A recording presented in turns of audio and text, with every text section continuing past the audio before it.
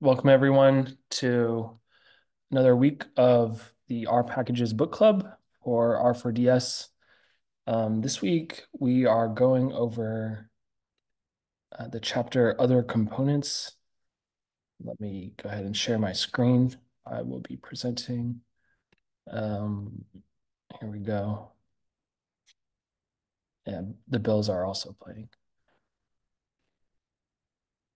Um, this week it was a short chapter, um, chapter eight, um, other components. Um, so this goes over what where we've already been, um, what we've gone through already um, throughout the book, um, various states of a package um, from source to in memory. Um, that was something that was new to me. Um, focusing on workflow and and some of the other stuff that we've learned along the way. Um, and then this is kind of where we're going. This is the path uh, for the next few weeks. Um, I, th I think this is the last section, or excuse me, I think this is the last um, chapter of this section, and then we'll get into um, the package metadata, um, which involves description and namespace uh, dependencies um, and lic licensing. Um, so the learning objectives for today, and um, this is a, this was a quick chapter, so um, hopefully y'all came here with uh, some discussion points as well. Um, but get acquainted with some of the other parts of uh, the R package.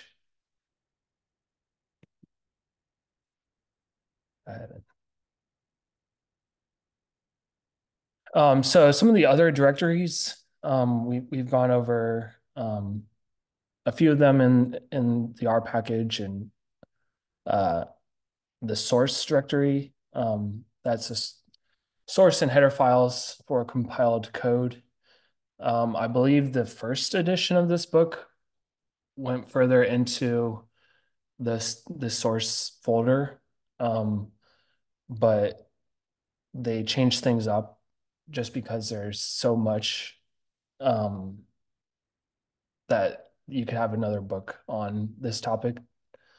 Um, so that, yeah, that that's where you put like C or C++ plus code. Um, and here's a couple packages that interact with uh, C through R, um, or C++, plus I should say. Um, I think this RCPP is um, I guess that that's like one of the more legacy um, packages for interacting with C++.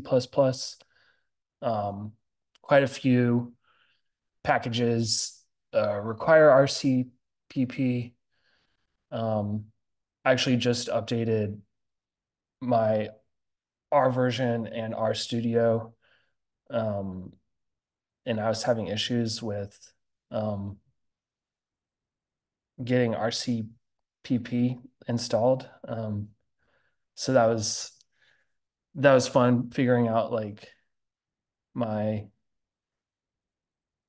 uh, bash profile and all these other things that I don't think helped solve it, but then I changed um, I think I changed my R environment path, so I think that helped fix it. Um, if you're curious, I think I put something in the R4DS uh, help ge R general channel for that. Um, the other C++ um, package to interact with it is the CPP11 package.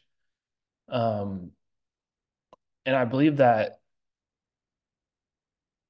this is what the tidyverse utilizes um, for any C++ um, interaction.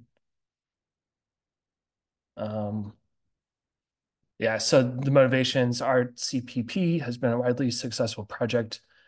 However, there's been a number of issues and additional C++ features have arisen.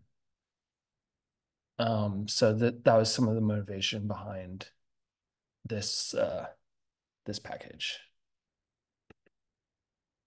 Um, Rebecca says, I know nothing about C, C++, um, but I saw something on the internet about using Fortran to speed up R code.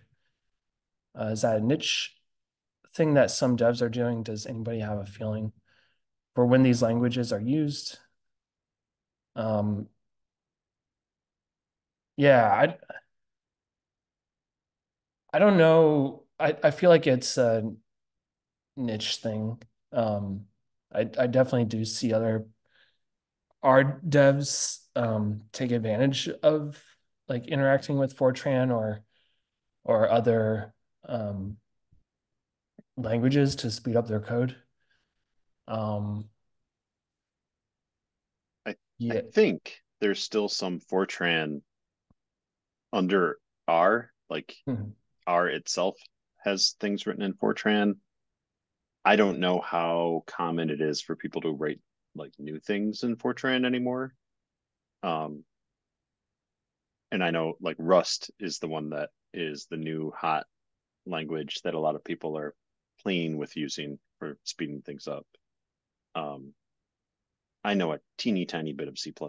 I've done, I have like edited other people's C++ code in packages, but I've never written any myself. But it is something that's one of those is on my list. I don't know which one yet, but learning to do those and when when to do those because you know finding something that's slow and will be faster without too much work in another language. Um, yeah, I, I know a little bit both because I was thinking about learning and I was like, what should I learn? I want to improve my my speed using R. Basically, right. yeah, it, it most extended the use of C++, but I, I was reading a blog in the CRAN page that says that R was written in C, so the the performance better with C. Data table was written in C, the, the fast part. And what's the difference between C and C++? Plus there are huge difference because C++ plus is object-oriented and C not. Basically, that, that was the, the difference. And why they say plus plus. If you want to make complex things, it's easier to do it with C++, but you want just to uh, just speed a for loop, C would be better. It, it's the right better with R.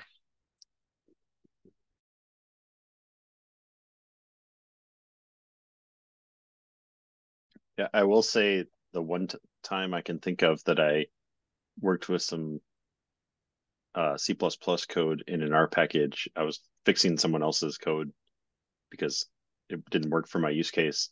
And I did that and then compared it to something that uh, a coworker wrote just using, uh, I mean, we were using R, including using um, stringi, which is this package behind stringr that does all, you know, it is C based. And our stringi code was uh, specialized C++. Never mind. We won't use this like exactly the right thing. And still, a lot of times, just writing more efficient, like writing your R code better is a first step to, you know, like if you're calling some crazy loop and hitting C code underneath that, it'll probably be slower than if you just write it more vectorized in R. So, um, yeah, the whole C plus CPP 11 thing was interesting. Like there was a whole thing where there was a bug that RCPP was like bringing to light and it only happened um like a couple versions back in R, and so the RCPP people weren't fixing it. They're like, it doesn't like it's not a big deal. And the Tidyverse team was like, um, lots of our users have two versions back of R. We support four versions back or whatever they do. And so they wrote a new package. At least that was my impl- or my perception of what happened. Is they're like, okay, if you're not gonna make it work for us, we'll do our own. And then now there will be two. So that's um, that's hilarious. um yeah, I um like speaking of Fortran too, um, I think during my package installations, I saw that gfortran was like a requirement for one of the packages, and I was like, oh, need to figure out what's going on here. Uh, cool. It looks like we have um, some more links. Thank you, Angel. Uh, definitely check those out. Um, yeah, the the other thing that I thought was funny um, while looking at these resources was um, on this learning more section, uh, welding R and C++. Um, I had forgotten about this. Um, I was actually uh, one of the organizers for this satRday Columbus event. Jim uh, Jim Hester came to uh, talk on C++ and R. Um, so yeah, this slides are there and um, as well as the uh, link to the talk for more info on that. Yeah, uh, yeah, there's definitely a lot more to explore um, with the source um, folder. And I guess it really depends on on what you're trying to do. But um, yeah, there's there's a lot more um, to go from just a little bit that we touched on here. Okay. Um, the uh, the next folder is the inst folder. Um, we already saw this in the data chapter um, with the um, ext data subfolder. Um, and we will add um, citation to that as well. Um, and yeah, we'll go over that a little more in this uh, in this chapter. Um, some other folders, tools, configure tools and store useful stuff for maintainers. Um, demo is it's more of a legacy folder. Um, you should use a good README um, instead, and vignettes, um, which we'll cover in uh, chapter 17 later on.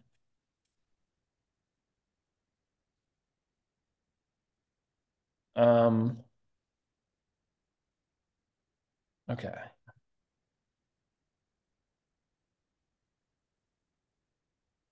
Yeah, well, I had some confusion on vignettes, uh, but I guess I'll I'll learn more uh, once we get there.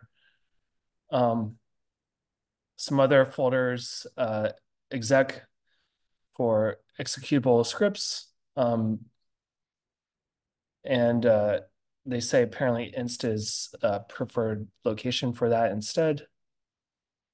And uh, the PO folder, translations for messages, uh, both internal and from the package. Um, I'm not sure uh, if they went into more detail on this. I, I wasn't entirely sure what, what this folder was for. Um, There's been a push for people to do more. Um, internationalization, but they don't really go into it here. Um, uh, rOpenSci has a whole initiative on it, which that PoTools, I'm pretty sure, is um, in rOpenSci package. Oh. Okay, or at least yeah. being helped out by rOpenSci maybe. So Is that like um just like helping with like spellings of words or like time zones or things of that nature? uh no, like literal translation. So like giving help Oh. in other languages and error messages in other languages, Oh, um, okay. that kind of thing. Yeah. Um because you know R is fairly uh English, but it doesn't have to be. It's designed to allow you to do that. And so I know, for example, uh, the package CLI was written with this in mind to be able to um, relatively easily sub out um, error messages. But I haven't done anything with it. It's you know like just about everyone else. It's like oh I'll I'll do that down the road. Um, but thankfully there has been a push because you know obviously the people who uh, want it most don't have a lot of power to make it happen, and so Mm. there's a been a push to kind of make it more um, more normal. Awesome. Uh yeah, definitely check out um the writing extensions link in the in the chapter um as well as this um this package to help out. Um and today I learned what a uh potoo is. Did not uh did not know that. right, I forgot, or I didn't know what the logo was for. That's funny. All right. You you want to learn something every day. Um so yeah, I think there's like just a few other sections here. Um okay, yeah, thanks for the link. Uh installed filled everything in inst is copied into the um, top level directory of the installed package. Um, so this has um, the effect of uh, you don't want to name something um, with a name already in use at the top level. Um, so for instance, uh, inst uh, slash data. Um, and they also said um, there's a difference between um, the development and what the user sees. Um, in development, you see uh, inst sl slash Bob, for example, and then the users only see um, slash Bob. Um, to avoid trouble, you can use load all or um, package in the FS package.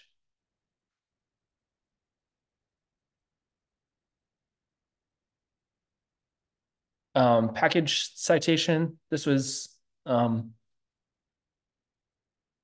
this was kind of interesting to me um, because I guess I wasn't too familiar with it beforehand. Um, so if you have something in the citation file, um, the citation function will grab that and show you how to actually cite the package you're using. Um, without an argument, it just shows you how to cite base R.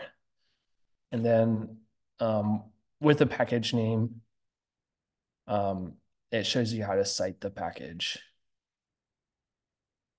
Um, and use this comes in handy once again, um, helping you create a citation file, um, and it places it in the uh, inst folder. Um, I'll go back to the book here. Um,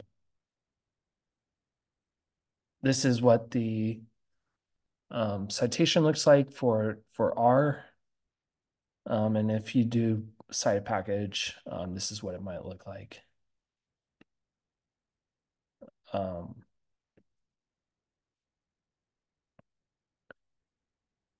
I am I am curious, like if if other people on the call, um, like what your um, what your experience is with uh, citations. Um, uh, like, I'm curious, like if you create a Shiny package, like what does that look like? Like, how would you, like, is that the same thing as if you're like writing a publication or a paper? Um, I guess um, that's kind of what I was confused on. What that looks like for different um, different scenarios. I have used citations uh, in my my blog. Not too many, mm. because it's like nobody reads that. But in the books, you see a lot of reference. Um, but that's more for papers and is thing to use with latex. So this citation mm. is not really useful. You using Microsoft Word. Is this format is for latex? As you see for latex, you see there. Mm -hmm. Yeah, that definitely. Yeah, that definitely makes sense. Um. Yeah, I I haven't done much with citations because I, you know, I'm not working in academia um, mm. or situations where it would be used a lot. Um, but it is like it's neat that that's built on built in. I just started playing around, like I was calling it for some of the stuff I've written because, um, you know, I haven't done it on purpose, and just the default does a pretty good job actually like this is. I didn't do anything to make this. Um, my package cookies. And oh, yeah, that's cool. Yeah. That's what R auto generates. So um that's pretty cool. Um yeah, I've I've seen like um other people cite our packages like in their like in their shiny um shiny work um but not quite the same as uh uh it, it might be similar but maybe not quite the same as uh paper publication. Cool. Thank you.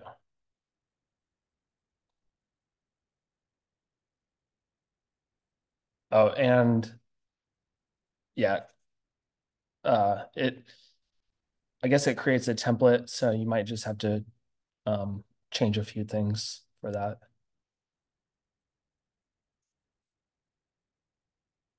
Oh, I uh, I should put in a pull request uh, for con configuration. um, so the the tools um, official use scripts needed at compiled time uh, associated with uh, source. They will not be present in the installed package. Um, so quote unquote unofficial use web toolkits spe specification for web API, um, color palettes, styles, themes. Um, I don't think I've had um, very much experience with with this one. I'm not sure if others have. Um,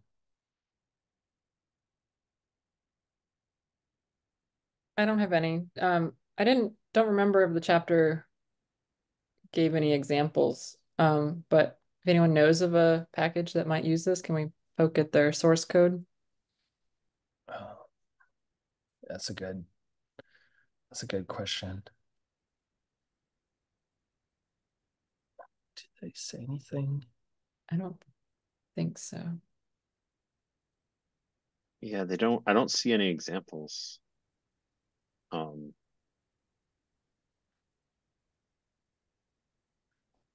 I'm not sure if other people have um uh, good GitHub searching skills, but you might be able to search like our packages and a tools folder maybe i don't maybe Um, we did a Tidy Tuesday uh, a few weeks ago that might have it was um like data uh, about our packages about CRAN. Mm. And I'm wondering if they had um if they had anything. Uh yeah. But um, not not easily, not quickly. Um, oh but I'm curious. Let's I was gonna say I'm willing to um hand over my screen as well.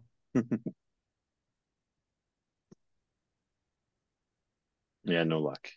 Like quickly searching through their paper. Uh, let's see. I'm just gonna do a quick uh maybe a string I could have it. I know you. Wait.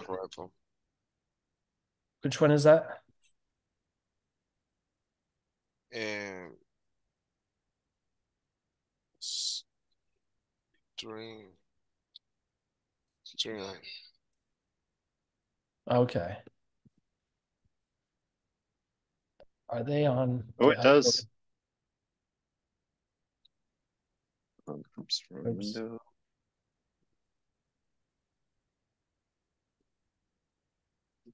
There we go. Um, I don't know what that is.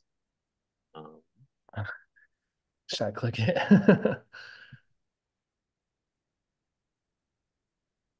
the heck is an M4 file? That's a good question. I know because I thought, oh, that package takes a lot to to compile. Oh. Sometimes you you yeah. want to start. It's a general purpose mar- macro processor. Oh, is that that's what M4 is? Yeah. I wonder um uh, it looks like they have both they have a couple of those files. Yeah. Hmm. So it looks like they're using it like as intended, I think. Um, oh, versus the unofficial ones in the yeah in the book. That's interesting. Um, I'm not sure if the arrow pack arrow package is on. Um, you use a C++. Uh, I don't know. Yeah.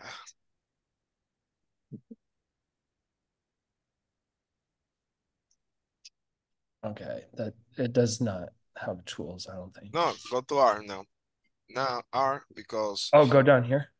Yeah, yeah, yeah. The, go to the R folder because there's a meta package and you oh. have the Python code, the all the languages together in this repo. Cool. You see them below Python, under Python. And oh, did ah, I yeah, okay? Ah, it was freeze. Yeah, you, it had tools and it had bash scripts. And I don't know what the S.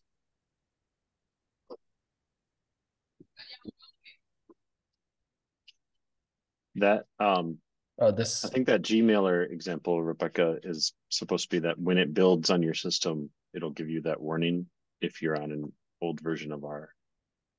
I think.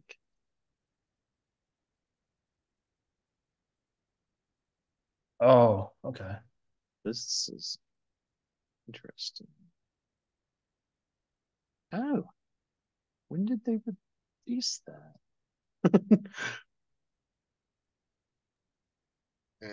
If uh if Jenny Bryan is doing it, then uh I'm definitely on board with whatever uh, her style is.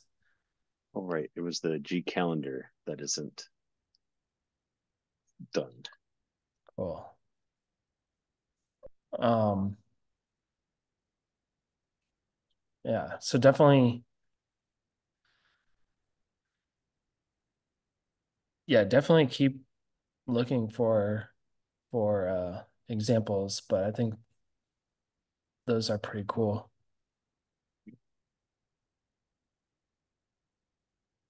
Nice. Well, I definitely uh, learned something there. Um, yeah, so this this was a quick chapter. Um, there you can stuff a lot of different types of files in um, in our package, um, and that kind of helps guide you where uh, where some of those should go. Um, and there's uh, like official ways to do it, and then um, quote unquote unofficial ways. Uh, but yeah, any uh, any questions or or comments on on this chapter? Um, I know it was a fairly short one.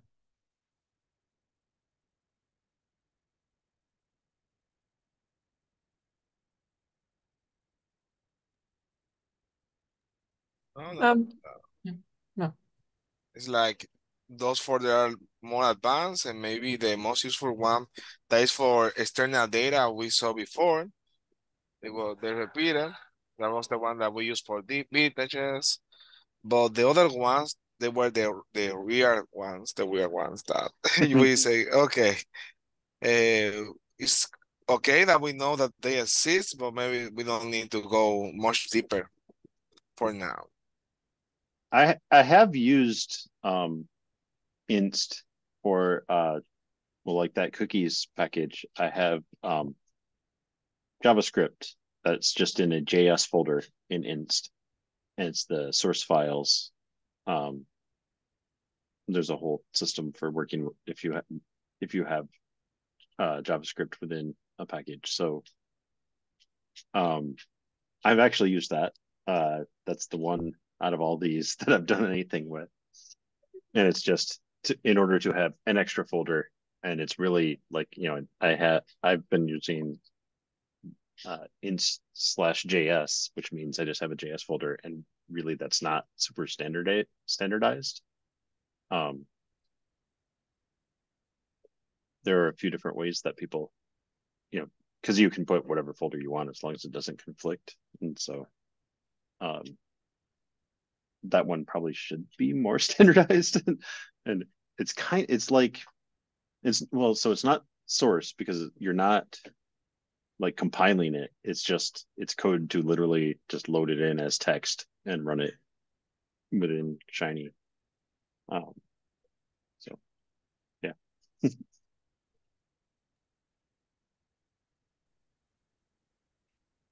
I've also used Inst as well. Um, but uh yeah, I'm not sure if it's like the official way or unofficial way. So what sort of stuff are you popping there? Um so I took over um I took over a package um at my at my work and there were um some like tokens that were like put in inst like in a vault subfolder. Hmm.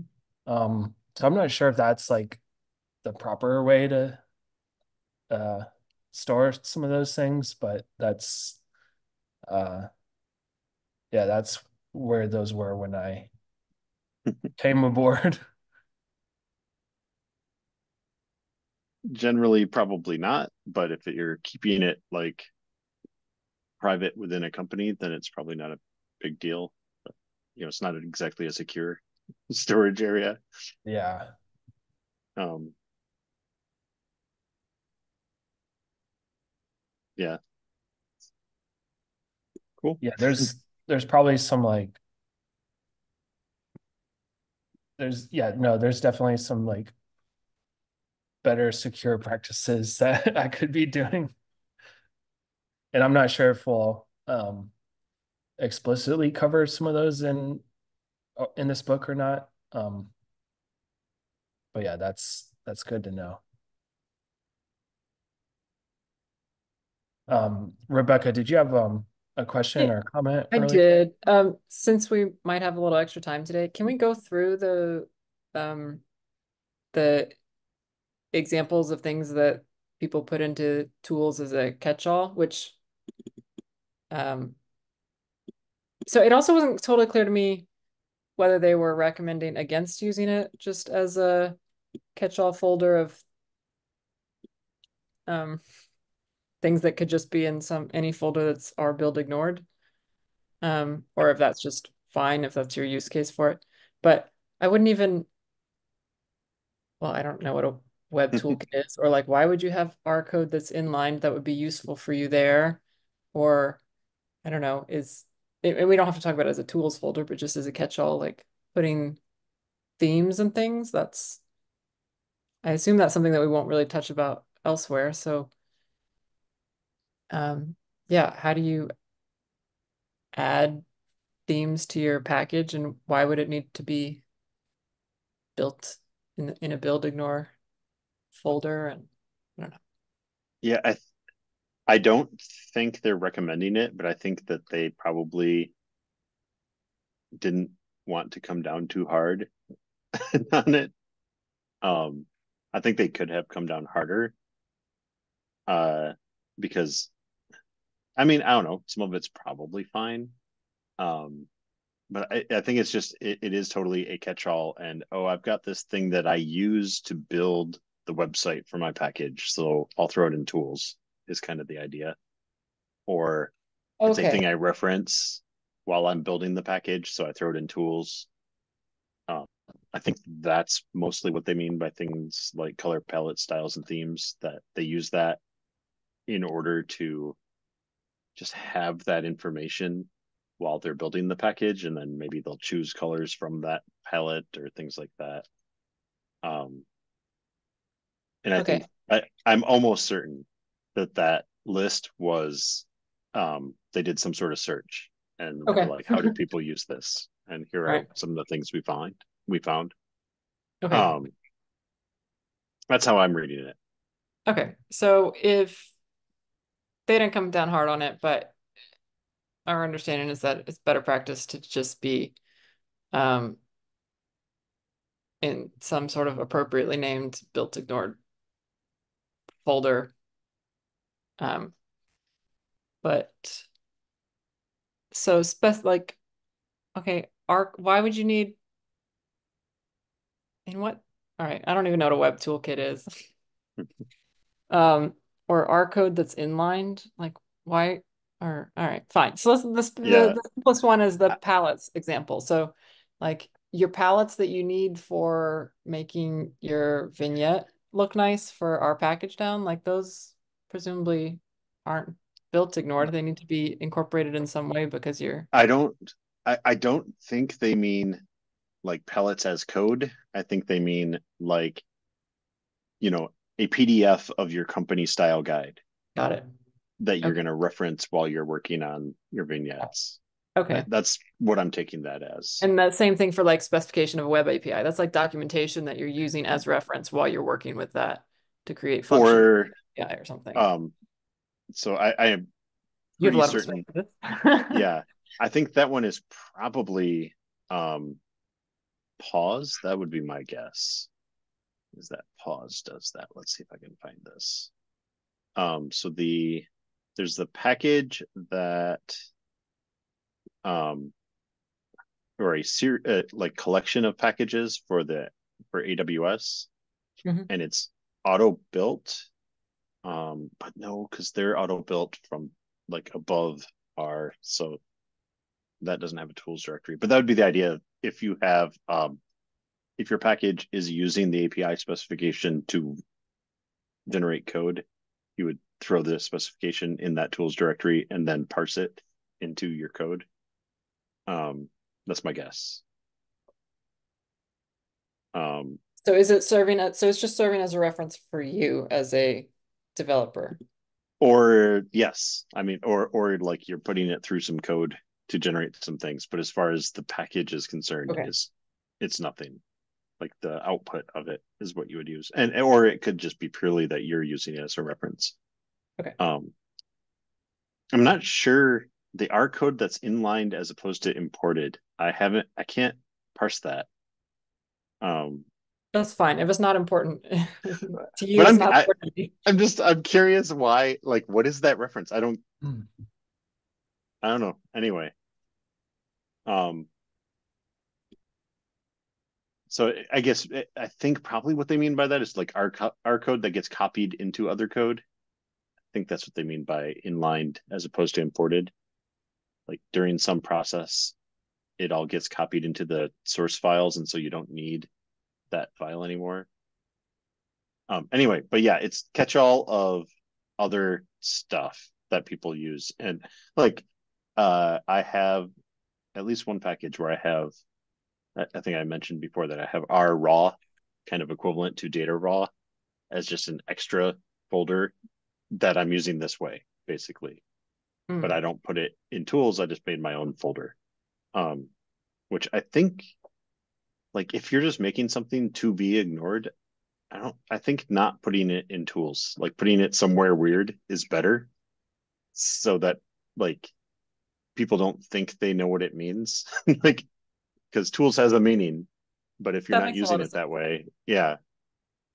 So if you're, um, I don't know, maybe especially if you are expect that you're not going to be the only author of a package, either currently or in the future, do you tend to have a few different documentation adjacent um, um, build ignore packages that that were useful to you in the development, explaining, I don't know. Eh, Do, do you often find yourself throwing something in your package, No. but in our build ignore? Almost never. Okay. Um sometimes I'll have like working files where, that I'm like just experimenting with some things that I'll just throw in tests because it doesn't break anything for them to be in tests. Um, but that's like very temporary and Okay. um, probably not a great idea to do it that way. Uh,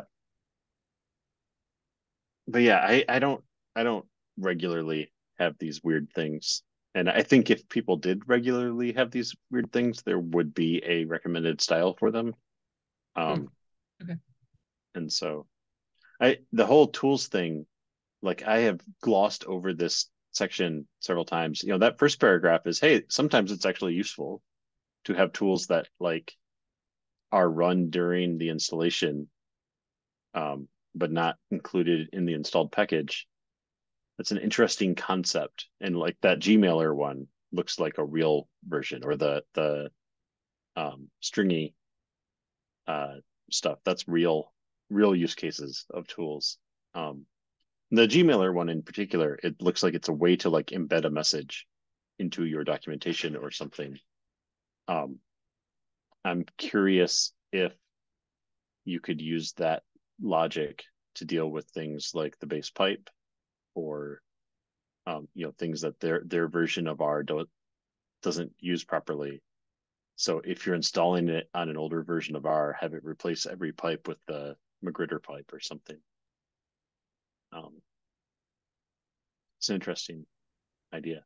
It, it sounds like if we get um Jenny Bryan for another Q and A, Oh, it would be yes. the perfect time to ask. Yes. Um, Stas also commented in the chat. Um, well, the matter of the question is, what does R really go to at the build stage versus what is being utilized in some other infra infrastructural way in the loaded slash attached package? For example, data slash sysdata uh, dot RDA versus what is a programming convention like inst slash data raw, which is a convention thing. Um, and was being used to interact with Python, C++, Rust, uh, JavaScript.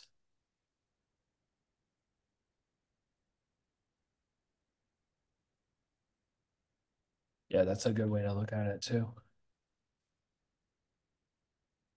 Yes.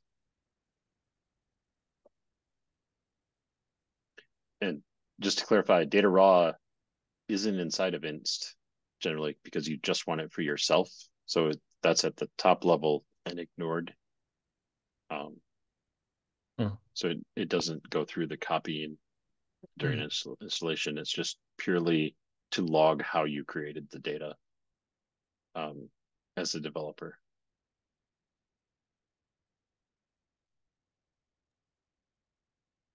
Um, cool. I'll go ahead and uh, stop sharing. Um, does anyone have uh, any further comments or questions?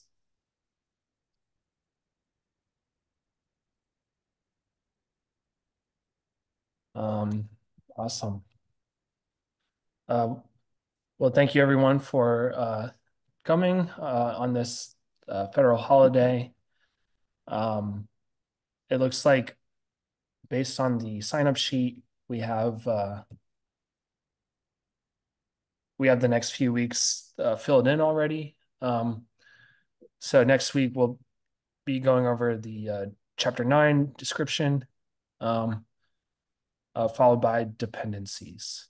Um, next week we'll have Stas uh, leading the discussion. Cool. Yeah, if there aren't any uh, further questions or, or comments, uh, yeah, once again, thank you for coming, and uh, yeah, we'll see you all next week. Thank you for leading. Yeah, Bye. thank you. Thank you.